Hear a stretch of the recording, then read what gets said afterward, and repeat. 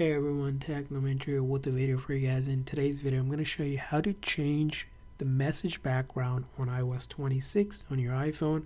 So if you haven't updated your phone, first thing you need to update your iPhone to iOS 26 by going to your setting, general, software update, and you should see iOS 26.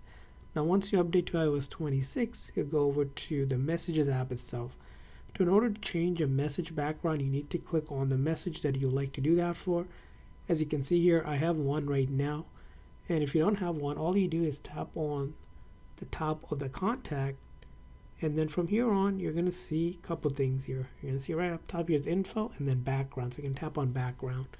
Now when it comes to changing a background, you can select the default one that's available here.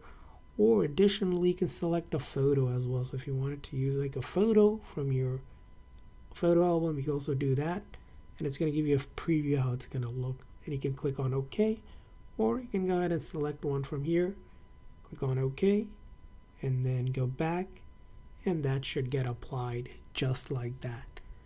So that's how you change the background for messages on iOS 26 I hope this video was helpful.